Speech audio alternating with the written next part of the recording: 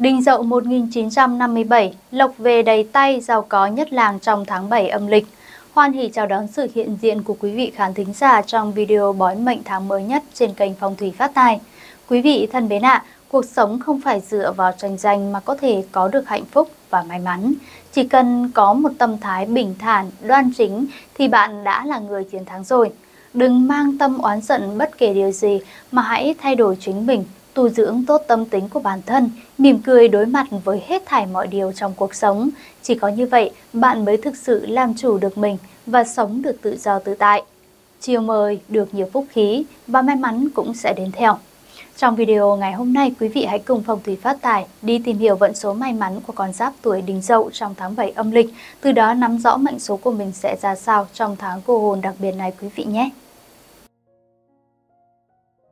Tháng vàng phát tài lớn nhất, Đinh Dậu 1957, lồng về đầy tay, giàu có nhất làng trong tháng 7 âm lịch. Đinh Dậu là người sắc sảo, hóm hình, tài năng và quyết đoán. Đinh Dậu thích phiêu lưu và không ngừng tìm kiếm những miền đất mới để thám hiểm và thử thách chính mình. Thường thì họ sẽ thành công nhờ trí thông minh và sự hợp lý.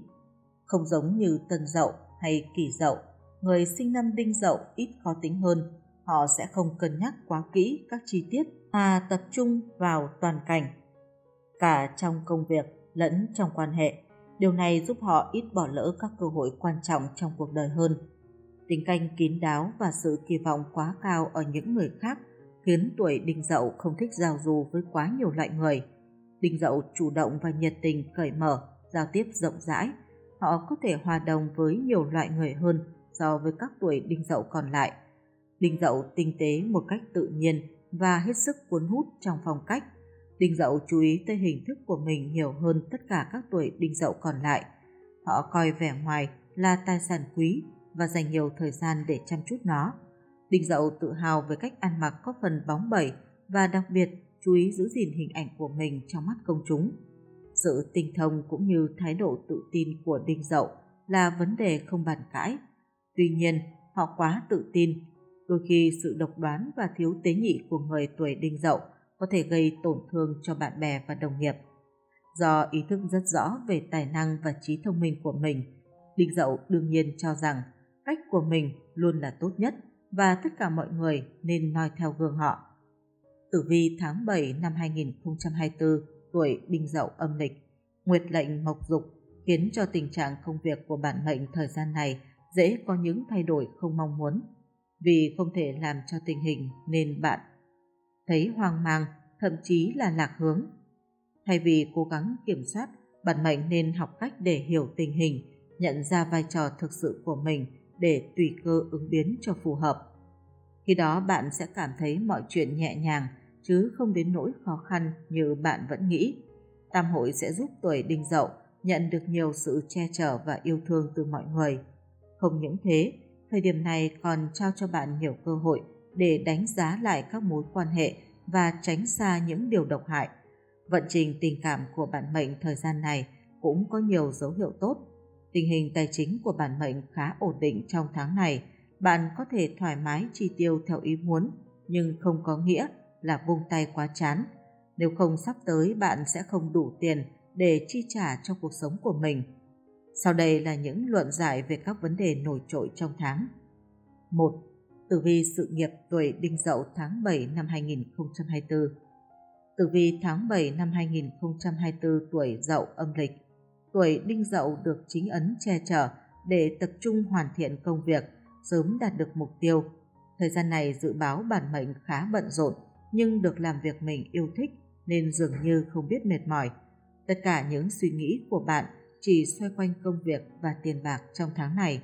Tuy nhiên vẫn có những thay đổi khó lường khiến bạn phải liên tục thích nghi. Đôi khi bạn cảm thấy nghi ngờ với cả chính mình khi nhận thấy có những chuyện diễn ra không đúng kế hoạch. Nhưng thay vì cố bám theo những mong muốn của mình thì bạn nên học cách linh hoạt hơn, tận dụng tốt những gì mình có, hạn chế những gì được xem là điểm yếu. Dần dần con đường của bạn sẽ sáng tỏ hơn đôi khi lệch hướng và nhận ra sai lầm của mình cũng là cần thiết để bạn tự mình đánh giá lại, không bị mù quáng với những quyết định của mình. 2. Tử vi tài lộc tuổi đinh dậu tháng 7 năm 2024 Tử vi tháng 7 năm 2024 của 12 con giáp âm lịch Vận trình tài lộc luôn rất khó đoán nên ngay khi có cơ hội tốt hãy tận dụng tuy nhiên không nên quá liều lĩnh nên ưu tiên những chiến lược an toàn, có tính dài hạn, không chỉ tập trung vào cái lợi trước mắt. Tháng 7 này, nhất bạch bay vào cung Tây Bắc là điềm báo tốt lành, mang tới điểm quý nhân phù trợ cho công việc của bản mệnh tiến hành trôi chảy. Giao dịch hay ký kết hợp đồng đều thu về kết quả khả quan. Dự báo có thể có một người bạn nào đó sẽ đưa ra những lời đề nghị, cộng tác làm ăn. Hoặc đơn giản là họ có một kế hoạch kiếm tiền rất thú vị và muốn bạn hợp sức. Dù công việc này nghe có vẻ hơi mơ hồ, bạn ít nhất vẫn cảm thấy rất thích thú. Có chút tiền, bản mệnh lại thích khoe khoang trưng diện cho mình về vật chất. Nó chỉ tô điểm cho vẻ ngoài và được người khác ngưỡng mộ. Còn thực chất bạn có tiền hay không thì chỉ có mình bạn biết. Nếu bạn tiếp tục hoang phí thì cuộc sống sắp tới lại càng khó khăn đấy nhé. 3. Tử vi sức khỏe tuổi Đinh Dậu tháng 7 năm 2024 Sức khỏe của tuổi Đinh Dậu tháng này không có biểu hiện nào đáng lo ngại. Tuy nhiên bạn hãy cứ duy trì lối sống lành mạnh để đảm bảo thể lực và trí lực của mình. Nếu có bệnh thì hãy đi khám, đừng vì bất cứ lý do chủ quan hay khách quan nào mà lơi là các vấn đề sức khỏe của mình bạn nhé. Tháng 7 âm lịch này, thời tiết có phần dễ chịu và bạn ăn ngon miệng hơn. Tuy nhiên bạn không nên ăn quá nhiều đồ bổ béo, gây rối loạn tiêu hóa, luôn giữ mức ăn vừa phải, đừng để trong tình trạng ăn quá no, gây quá tải cho cơ thể. Tiếp theo là dự đoán chi tiết 4 tuần trong tháng để quý vị đưa ra kế hoạch tương lai cho bản mệnh. Đầu tiên là tuần thứ nhất từ ngày mùng 1 đến ngày mùng 7 âm lịch. Tuần này với tuổi dậu mà nói là một tuần nhiều thách thức, song cũng đồng thời tạo ra không ít cơ hội để bản mệnh bứt tốc mạnh mẽ về phía trước. Tam hội cùng xuất hiện, đảm bảo cho các mối quan hệ xã giao của bản mệnh diễn ra suôn sẻ. Con giáp này dễ gặp được người cùng chí hướng với mình. Nếu hợp tác với những người như vậy, bạn sẽ gặt hái được những thành quả đáng ngưỡng mộ trong tương lai. Nếu có trở nên bận rộn hơn trong tuần này, bạn cũng chớ nên nản lòng hay nhụt chí. Dù là việc khó, cũng sẽ có quý nhân trợ giúp kịp thời. Sự tất bật đó sẽ mang lại cho mệnh chủ thành quả xứng đáng với công sức bỏ ra. Kiên trì theo đuổi mục tiêu tới cùng sẽ có được thành công như mong đợi. Trong tuần tài lộc ổn định, kinh doanh buôn bán không có điều gì đáng lo ngại. Thu chi cân đối, bạn có thể bỏ ra khoản tích lũy không nhỏ. Tình hình sức khỏe của những chú gà cũng không có điều gì đáng lo ngại. Nếu có vấn đề gì thì cũng chỉ là vài bệnh vặt do thay đổi thời tiết. Bạn chỉ cần chú ý tĩnh dưỡng, thường xuyên rèn luyện thân thể để tăng sức đề kháng là không còn gì phải lo. Sang tuần mới tuổi đinh dậu có lẽ sẽ trở nên bận rộn hơn hẳn. Bạn sẵn sàng đương đầu với mọi thách thức xảy đến với mình và biến chúng thành cơ hội để phát triển. Thậm chí nếu làm tốt, đây còn là một tuần với những thu hoạch gặt hái không tồi. Các mối quan hệ xã giao của bản mệnh hết sức hài hòa nhờ có sự nâng đỡ của cục diện tam hội. Con giáp này dễ gặp được người cùng chí hướng với mình. Nếu hợp tác với những người như vậy, bạn sẽ gặt hái được những thành quả đáng ngưỡng mộ trong tương lai. Tuy nhiên, thành công đến chẳng dễ dàng khi mà khối lượng công việc gia tăng. Chính quan cho thấy với tinh thần trách nhiệm cao của con giáp này, chỉ khi hoàn thành tốt nhiệm vụ thì bạn mới dừng bước chân. Không những thế, từ những sai sót, bạn rút ra được bài học cho bản thân để hoàn thiện tốt hơn. Hơn nữa, điểm báo tử vi cho thấy trong tuần bạn rất có thể sẽ được quý nhân giúp đỡ kịp thời, nên nếu có mệt mỏi thì cũng chớ vội nản lòng nhé. Rồi mệnh sẽ đạt chủ thành quả xứng đáng với công sức bỏ ra, kiên trì theo đuổi mục tiêu tới cùng sẽ được như thành công mong đợi. Công việc ở thời điểm này nhìn chung đang có những bước tiến triển nhịp nhàng, nhưng nếu muốn đạt được bước đột phá rõ ràng hơn, đòi hỏi bạn phải nỗ lực nhiều hơn nữa. Ngoài ra trong tuần này, Nguyệt lệnh lâm thai tượng trưng cho sự thay đổi, chuyển hóa, hứa hẹn vận trình của bản mệnh sẽ ngày càng hành thông. Nếu có ý tưởng hay dự án nào lớn, bạn có thể cân nhắc triển khai trong thời gian tới. Tỷ lệ thành công không hề thấp đâu nhé. Dân gian quan niệm tháng cô hồn là tuần xui rủi, dễ hao tài tốn của, nhưng có vẻ với người tuổi đinh dậu thì điều này không đúng lắm với bạn.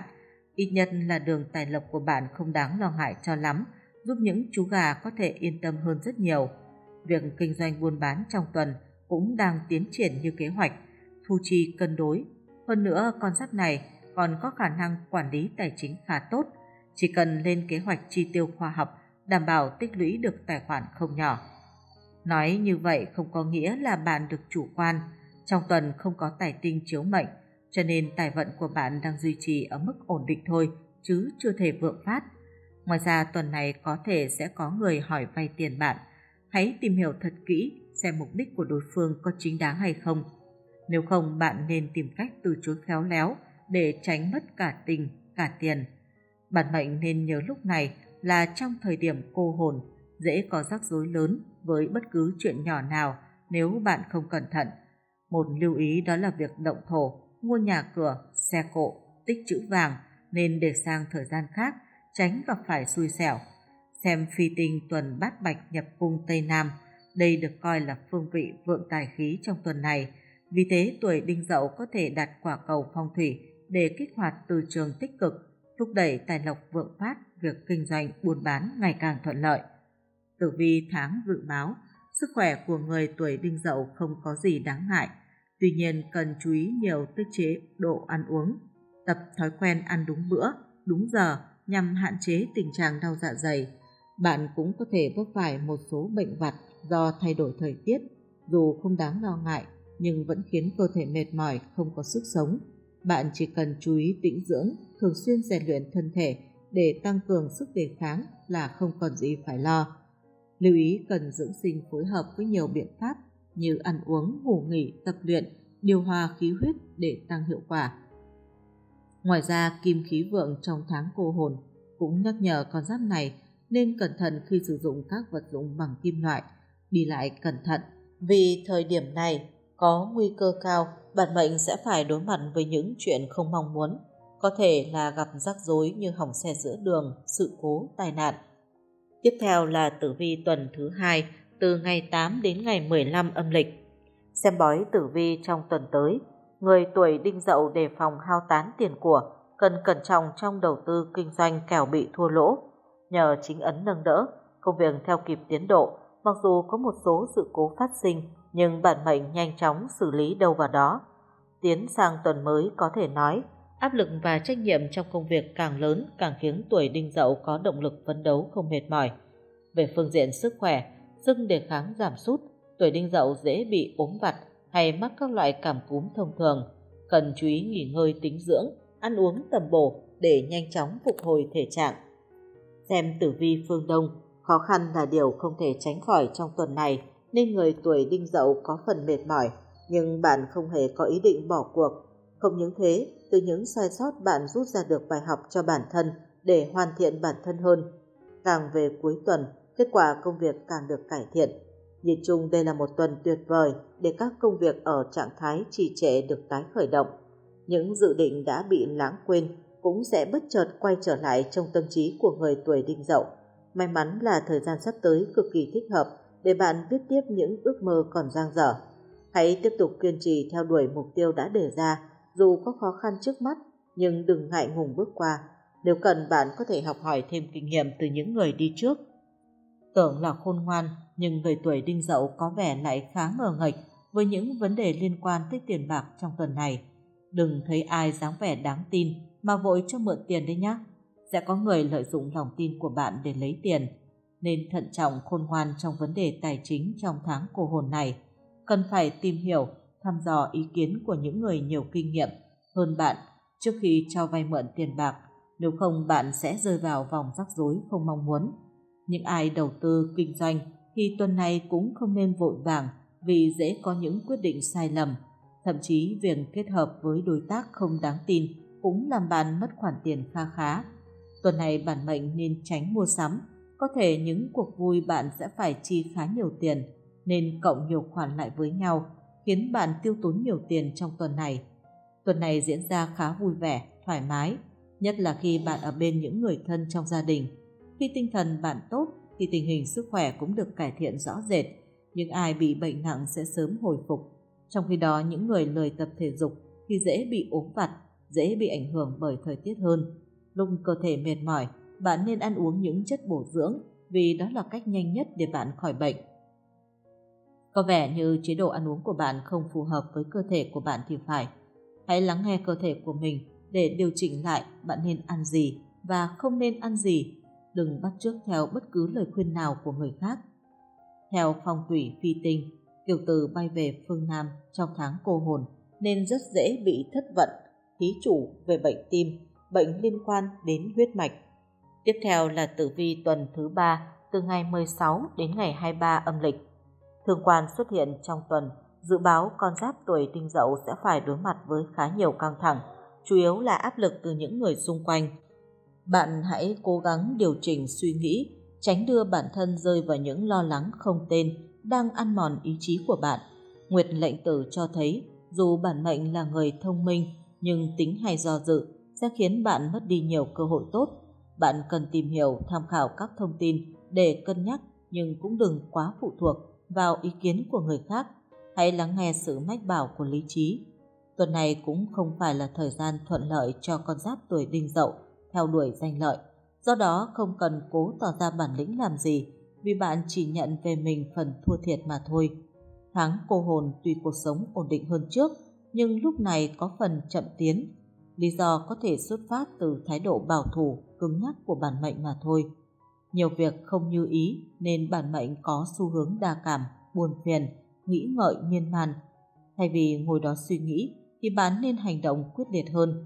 Chăm chỉ làm việc nhà cũng là cách để bạn tránh tình trạng nhàn cư vi bất thiện.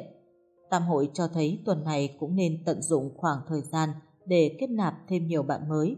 Ngoài ra các mối quan hệ cũng trở nên hòa hợp, tạo điều kiện thuận lợi để bạn tập trung phát triển các khía cạnh khác của cuộc sống trong thời gian tới.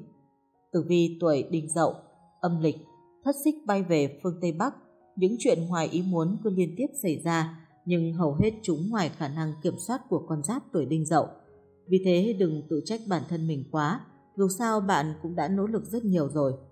Một điều mà bản mệnh nên lưu ý trong tuần này đó là nhất định tránh xa những cơ hội rủi ro có nhiều tác nhân gây ngăn trở cho cuộc sống của bạn trong tuần này.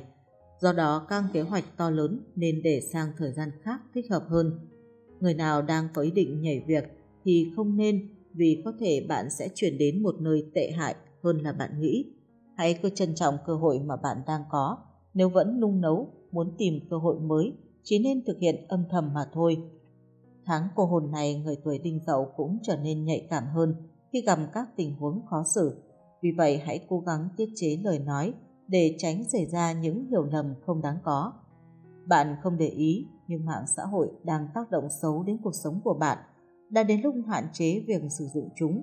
Điều đó có nghĩa là cai mạng xã hội hoặc hạn chế tiếp xúc với các thiết bị điện tử nhiều nhất có thể để đầu óc bạn được thật sự thư giãn. Tài lộc không có dấu hiệu tăng tiến so với tuần trước vì bản mệnh đang phải tập trung vào các giải pháp an toàn. Đôi khi giữ cho mình không mất tiền thì cũng là đầu tư có lợi rồi. Với những khoản đầu tư được mời chào là có lãi suất lớn thì ngay lập tức tránh xa. Nhất là khi người nhà giới thiệu cho bạn những cơ hội này, bạn cái có xu hướng ngại từ chối. Nếu cần thì nói rằng bạn đang túng thiếu thì làm gì có tiền đầu tư. Có thể thấy tháng cô hồn có những khoản chi bất ngờ ngoài tầm kiểm soát. Có gian tuổi đinh dậu đành phải cắt bớt những khoản chi tiêu không cần thiết cho dù có thế nào cũng không nên mua sắm bằng khoản tiết kiệm đang dùng để đề phòng cho những lúc khó khăn bạn nhé. Tử vi tuần tuổi đinh dậu âm lịch, bản mệnh lúc này thường xuyên rơi vào tình trạng mệt mỏi. Cũng một phần bạn lười vận động cơ thể hơn trước. Đúng là trời nắng thì không nên ra đường quá nhiều, nhưng dù ở nhà cũng nên duy trì các bài tập nhẹ nhàng. Ngoài ra, bắt tay vào làm việc nhà cũng là cách để bạn cải thiện tâm trạng tốt hơn. Mỗi khi buồn, chỉ cần đứng lên dọn nhà, rửa bát, bạn sẽ quên mất mình đang buồn vì điều gì. Trong các bữa ăn hàng ngày, người tuổi dậu cũng cần chú ý ưu tiên những món bổ gan dưỡng thận. Các bộ phận này thường chịu ảnh hưởng tiêu cực trong những mùa hè nắng nóng. Không những thế, bản mệnh cũng không nên xem nhẹ sự hiện diện của thương quan trong tháng 7 cô hồn. Chúng nhắc nhở bạn nên thận trọng khi tham gia giao thông trong tuần này, nếu không cẩn thận sẽ dễ gặp tai nạn. Tiếp theo là tử vi tuần cuối cùng của tháng 7 âm lịch, tức từ ngày 24 đến hết tháng. Tử vi tuần tuổi đinh dậu âm lịch, Thời gian này, bạn hãy sẵn sàng tinh thần cho những thử thách gian nan. Nhưng điều tuyệt vời là bạn thể hiện được năng lực của mình và mọi thứ được ghi nhận bằng những thành quả mà ai cũng thấy rõ. Đế vượng nhập mệnh nên không ít người tuổi này trở nên cao ngạo hơn khi bản thân có thành tích, còn người khác thì không. Nếu bạn còn duy trì thái độ này thì cuộc sống của bạn sẽ lao đao vì có những người do ghen ghét mà tìm cách gây hại. Lời khuyên cho bạn là nên khiêm tốn, vì trong thế gian còn rất nhiều người giỏi hơn bạn, chỉ là họ chưa có cơ hội để bạn gặp gỡ mà thôi.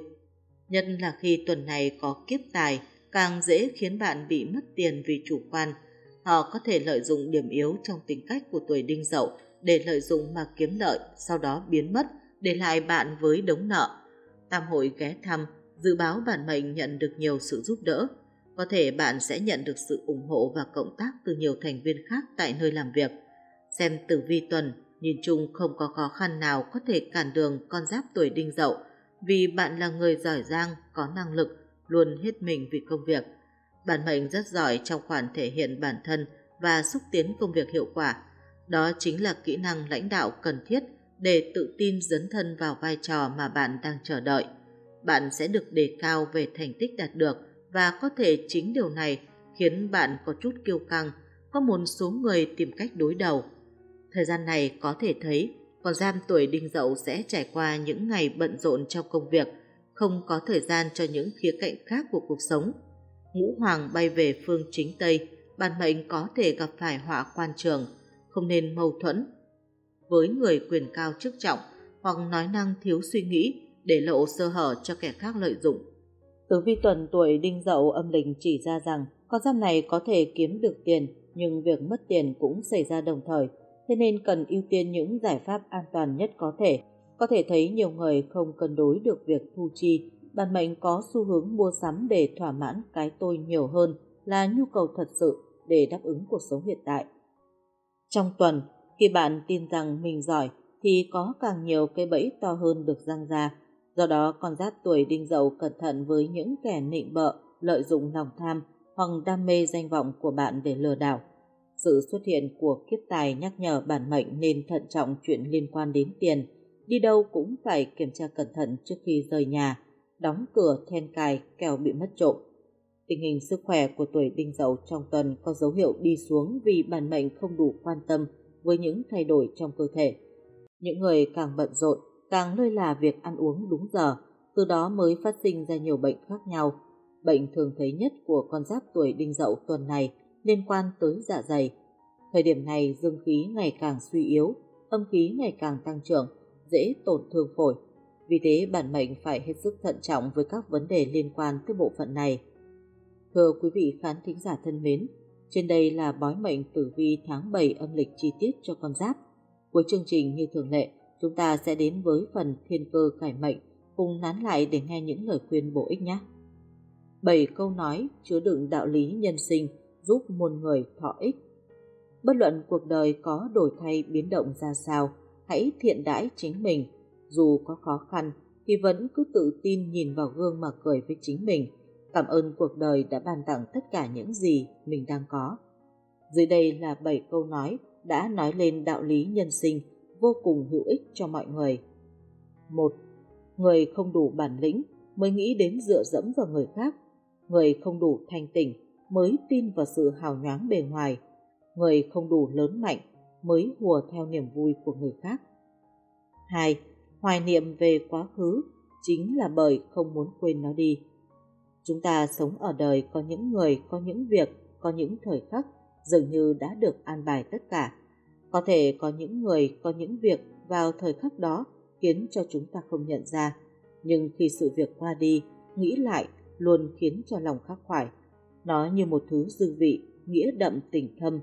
Kỳ thực trong cuộc đời mỗi người, ai cũng từng có những khoảnh khắc lay động lòng người mà tháng năm có qua đi, dòng đời có thay đổi, thì nó vẫn chẳng thể phai mờ.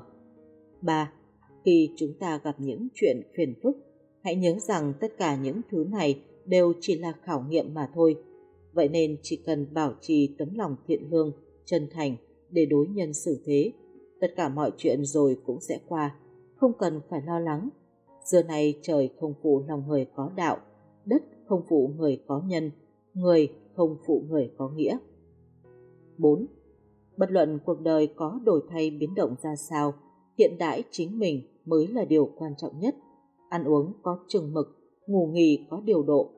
Dù có khó khăn thì vẫn cứ tự nhìn vào gương mà cười với chính mình, mỗi ngày ba lần, sáng, trưa và trước khi đi ngủ. Cảm ơn cuộc đời đã ban tặng tất cả những gì mình đang có. Động viên chính mình, tin rằng ngày mai rồi sẽ tốt hơn. Vị nhân có thể thành công chính là nhờ vào niềm tin bất diệt. 5. Trong ái tình, khi bạn đã quyết định chờ đợi, vậy hãy cứ chờ đợi, chỉ cần điều đó khiến bạn cảm thấy thoải mái là được. Tuy nhiên có một điều cần phải ghi nhớ, kết cục tốt đẹp luôn nằm ở số ít, điều đó có nghĩa là việc bạn chờ đợi không nhất định đã là việc tốt. Đương nhiên ái tình mà, mặc dù nó không có kỳ tích, nhưng biết đâu đó có một ngày, có một ai đó càng hiểu bạn hơn, muốn cùng bạn gắn bó nhiều hơn. 6. Có nhiều lúc chúng ta tự mình cảm thấy bản thân thật xuất sắc, những vấn đề khó xử đều có thể xử lý được êm xuôi. Vậy nên làm người thì đừng nên mang tất cả những việc khó làm dồn vào những lúc bản thân vô dụng nhất mà làm. Hãy đặt tâm vào góc độ làm sao để biến bản thân thành người xuất sắc, có tầm nhìn xa trông rộng, sau đó hãy xử lý vấn đề. Tin rằng khi đó tất cả mọi chuyện đều ổn cả. 7. Cho dù bạn bè tốt đến đâu, vẫn phải yêu cầu bản thân có khoảng cách nhất định. Cảnh giới cao nhất của bạn bè chính là làm sao có thể tương thân tương thủ, giữ được cho nhau sự độc lập riêng nhưng cũng không thể xa cách. Cảm ơn quý vị đã dành thời gian theo dõi hết video. Chúc quý vị vận trình ngày mới bình an hạnh phúc và sức khỏe dồi dào. Hãy quay lại mỗi ngày với phong thủy phát tài của bác nhé. Chúng tôi luôn ở đây để chia sẻ và dẫn đường đồng hành cùng quý vị.